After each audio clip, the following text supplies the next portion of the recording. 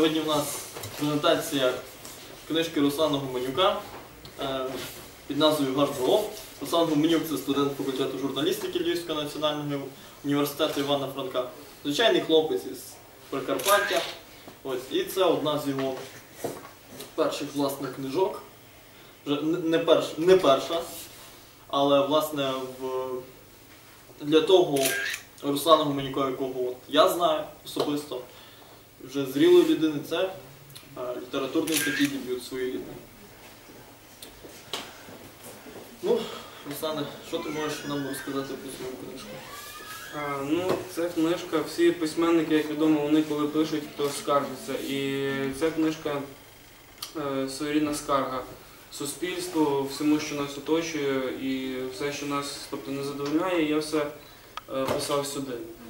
Своєрідна, велика така жовтого кольору скарга, можна сказати. І Так, ну власне, е, від себе можу сказати, що ця книжка вона написана дуже щиро. Ну, це така, як, як у мене склалося враження, своєрідна сповідь молодого хлопця, який ріс у цій країні, який пар- паралельно із цією країною. І тут дуже багато от, людей, власне, нашого віку з Русланом, вони можуть знайти себе в цій книжці. Тому що Е, Хоч Руслан і говорить, що вона призначена для дуже широкого кола читачів, від малих до великих. Насамперед, основні читачі це е, люди, яким там від 18 до 23 років. Власне, ця книжка є дуже таки трешовою, я б сказав. Е, Це таке, знаєте, своєрідне нагромадження різних думок, е, сновидінь, спогадів, якихось міркувань. Е, Вона написана в такому стилі потоку свідомості. Цей потік він десь є місцями абсурдний, десь він місцями дуже такий хаотичний. Е, Місцями здається, що він банальний, дурний. Е, Але цей потік він є і він надзвичайно щирий.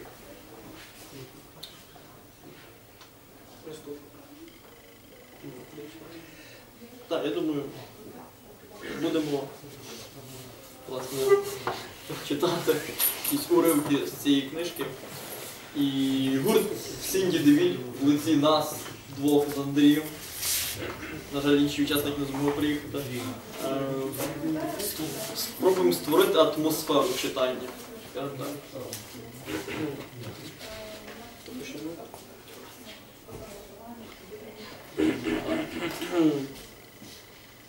Але зараз. Перепади слів лунають у моїй свідомості, перепади згадок б'ють мене своєю правдивістю. Вони невпорядковано крокують мені в голову і стають дійсністю. Уважно, не лізь туди. Та все файно, я не впаду. Ясно, що не впадеш, що провалився, там гнилі дошки. Але було пізно. Сусідка Юля пірнула у яму з сечівкою. Ще трохи і вона б захлинулась, бо на поверхні залишилася тільки її біла пухова шапка. Ми позакочували рукави до ліктів, і кожен засунув свої руки, дівку шукаючи Юльку. Велес першим натрапив на її косички. Витягнувши їх на поверхню, дав мені другу косичку, і ми вже разом витягували сусідку усіх рідкої багнюки. Процедура була не з легких. Здавалося, що якийсь гімняний чувак схопив її за ноги і не хотів віддавати. Але коли ми почули її крики, то зрозуміли, що просто домети. Коли ми її витягнули на суходіл, вона випльовувала зі стравоходу жовтих хробаків, які лазили по запашній сечі. Галя, яка гралася з нами в конки, не витерпіла і почала блювати прямо на Велесову файнецьку куртку, яку йому передала бабця з Америки. Побачивши все це, ми з ним почали просто хіхікати. Та потім так розсміялися, що не штани від знаходили. Звичайно, дівчата на нас довго ображалися після того випадку. Але ми завжди їм згадували цю історію, коли разом сідали обідати в школі.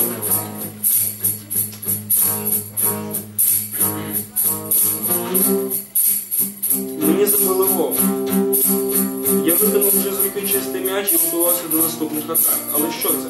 Стара бабця, яка жила біля майданчика, винесла до моїх воріт велике відро з водою і залишила його там, повернувшись до старечої хати. Ми не звертали на це уваги далі продовжували гру. Але тут стара вина повернулася з палкою в руках.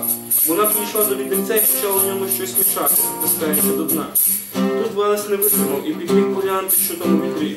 Потім Велес закликав усю футбольну команду. Всі збіглися. І дивилися, як уже замість баби помішує палкою щось у відрі. Мене дорізала цікавість, я теж пішов глянути, що. Я підходжу ближче і чую, як Вел каже до.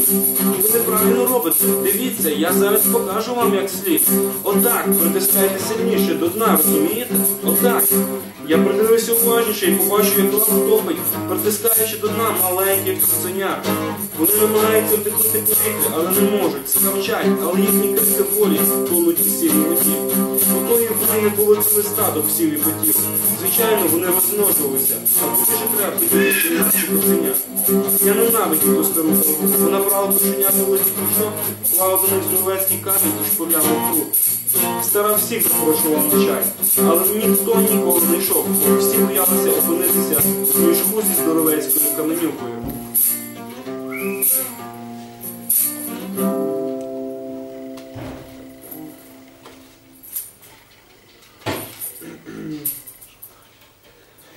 Одного дня ти ще дихаєш, а наступного стаєш матеріалом для дослідів.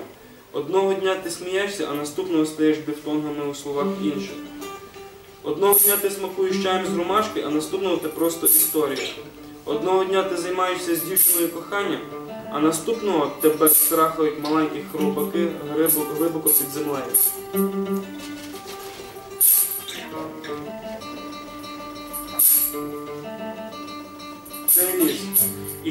Не пускали туди? Коли бабця Софія ще дихала, вона розказувала, що там гукає чугайстер, але це не стримувало мене, Галю, Юлю і Вела. Одного дня ми пішли туди на ніч з палатками. Повернулися ми наступного дня під вечір вже дорослим. Після розмов Велеса дідуся ми перевірили, чи він нам казав правду. Виявилося те все, що він розповідав, реально. Вел взяв дві невеличкі палатки один спальний мішок. Звісно, спальний мішок він взяв в свою палатку. А мені довелося кохатися з Галею на старій замурзаній канаті.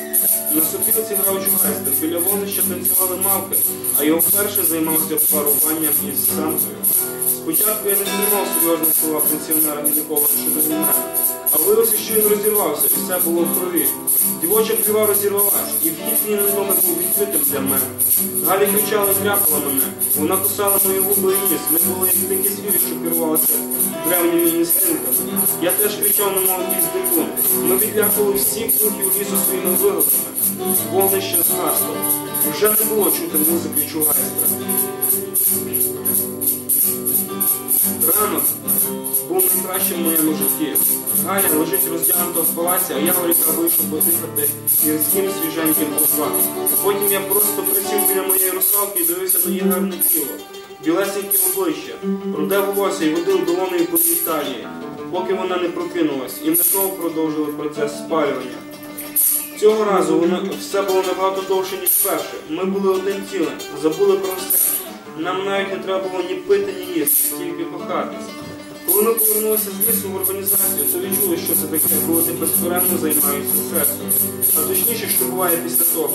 Я думав, що помру, ледве ходив. Все тіло розвалилось, енергії не було взагалі. Хотілося тільки спати. Не знаю, як я тоді доніс рюкзаки з па- палатками. Але невимовне відчуття щастя вбило ці болі і все налагодилося. Енергія повернулася, як і бажання спалювати. Так, життя змінилося після часу проведеного з червоновосою дівкою і музикою чугайська. Зі співами мавок я сприймав існування по-іншому. Коли картала ворона, я насолоджувався цим співом, так само, як криками мами і Галаної сестри.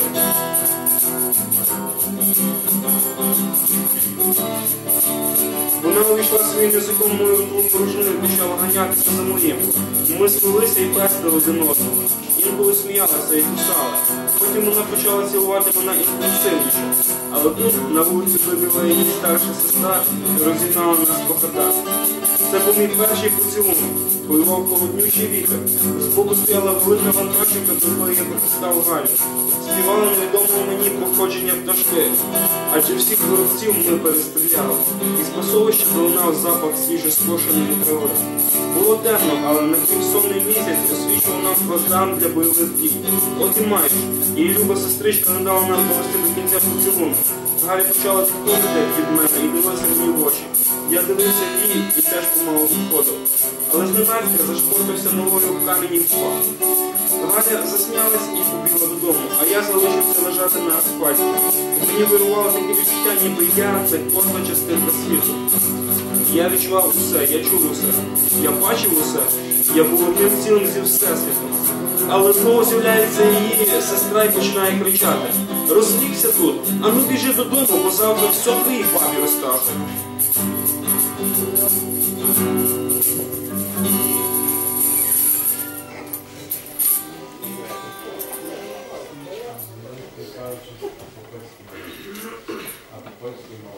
Як, кліцин, як клітини фагоцити захоплюють і перетравлюють бактерії, віруси та зародки глистів у наших шлунках, так і моя уява перетравлює реальність, цю болючу бактерію, яка повзає по моєму мозку і нагадує, що ми скоро помремо.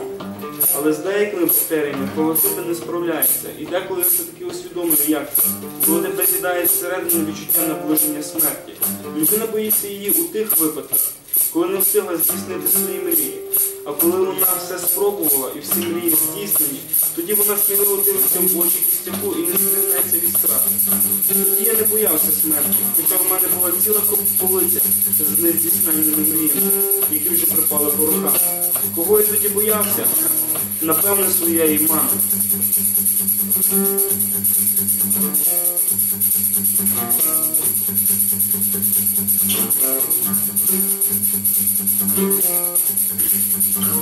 Я переміг страх, убив його. Мій страх вимер як тигр тілосин, якого знищили новопоселенці Тасманії, щоб захистити своїх колег. Зебра квага, яку вбили за її жорстку шкіру, бо з нею виготовляли місні мішки, а м'ясо зазвичай викидали. Мандрівний голуб, що був дешевим делікатесом для бідняків. Річкові дельфіни пальці, які сконали від постійного забруднення води вантажними суднами. Золота жаба, яка вимила від підвищення температури на нашій планеті. І птах вбили- вбивали заради задоволення. Цих видів вже не існує на нашій планеті. Ми їх знищили.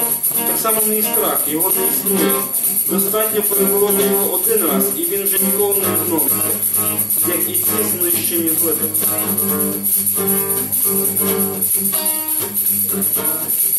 Старий світ водив нас за ніс, а ми, тісяючи на вчорашній світанок, нюхали пронизливий вечір. Київ наповняв нас собою, а хвилі Дніпра смерділи свіжі. Вже місяць кинув свої кислі погляди на духмяні смітники, в яких ворушилося життя. Воно зароджувалося і вмирало, старіло і дихало, бігало і повзло, літало і перділо. Тільки мить вчорашніх фіалок, на грав якийсь пенсіонер, нагуляла мою душу імпресіонізмом і лайном. Це Київ, це велике село, дуже-дуже велике, і водночас це гармида з великої букви Г.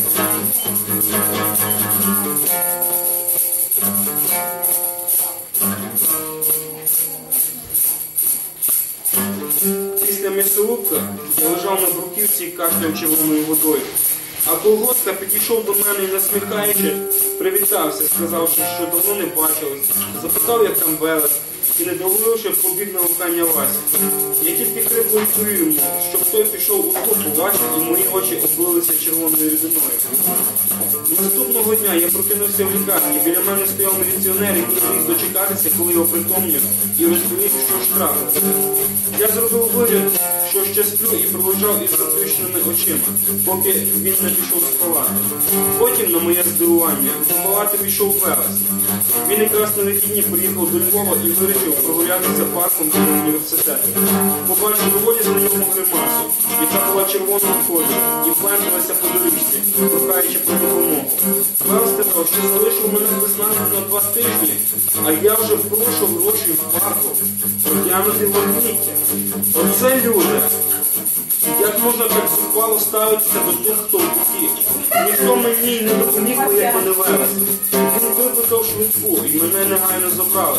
Хоча Лев казав, що це було не так швидко. Бо швидку ми чекали десь півгодини. Ще Лев сказав, що у мене виникло багатство крові. І він, враховуючи, що у нас однакова група, виступив донором і дав крові своєї. Щоб я, що б я робив без свого найкращого друга?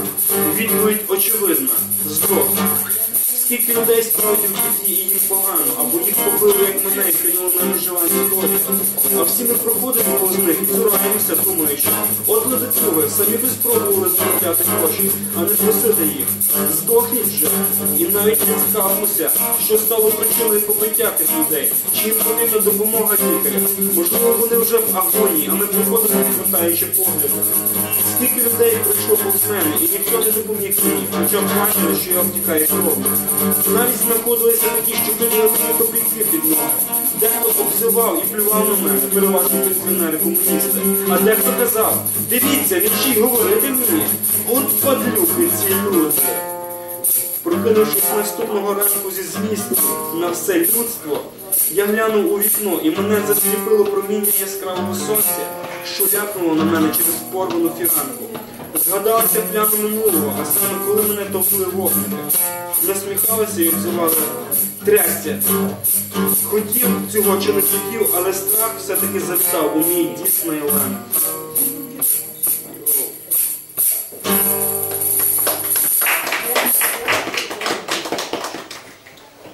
Ця книжка, е, уривки, з якої щойно зачитав Руслан. Е, Це книжка переходів. Е, Це книжка, в якій головний герой переходить з однієї субкультури в іншу, з одного міста в інше місто. І з підліткового віку до більш зрілого. І, власне, в цій книжці піднімаються от, проблеми субкультури. Так, зокрема, герой потрапляє в субкультуру хуліганів, ультрасів. І тут показано, як він розчаровується. Е, м, Автор намагається показати, що е, ця субкультура ну, не є такою хорошою, що не все можна вирішити бійками. Ось. І ще тут оця тема підлітковості, е, тема дівчат, тема кохання, яка власне от в цей перехідний період є доволі болючою. Взагалі кохання в в такому віці, а воно є найбільш палким, найбільш чутливим. І найбільше людина переживає всі його виборки саме в такому віці. Ну ось, власне, такою є книжка Руслана. Може, ти ще хочеш щось додати, Руслан? Ну, Що ти хотів цією книжкою? Е, Ну, так би сказати, от е, я в цій книжці використовую, так би мовити, 25-й кадр. Е, Це, наприклад, е, я всіх заманюю постмодерном, але водночас читач збагачується історично. Е, Також в ній є багато що є про Київську Русь, про нашу історію загалом, щоб ми згадали про свої коріння, хто ми є і звідки ми походимо. І загалом це своєрідний, як я казав, скарга, можна мовити протест. Ця книга, і вона зараз якраз я я, якраз хотів, би, щоб молодь, читаючи її, вона от чогось прагнула досягти. Якраз водночас от, е, її видали, потім кілька місяців минуло, і е, почалася ця революція, культурна революція. І е, так би мовити, все рухається так, я- так як я, і я планував. Так, ну що, я думаю, тоді будемо закінчувати власне нашу презентацію. От. Е, в такому дуже камерному, скажімо так, складі. От. Е, Руслан Гуменюк, автор. Так, е, група Сінді Девіт. Дюжа і Адам. Та дякую. Серед чума